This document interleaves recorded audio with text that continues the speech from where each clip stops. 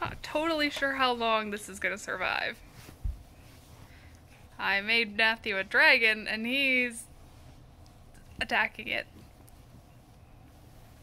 Can you show show the be the dragon, Maddie? Dodo today! oh, he's he's he's dead. He's dead. He's dead because of all that wenching. Oh no. Oh no, you look too happy about that. Ugh. Oh. Alright, you. I understand it was just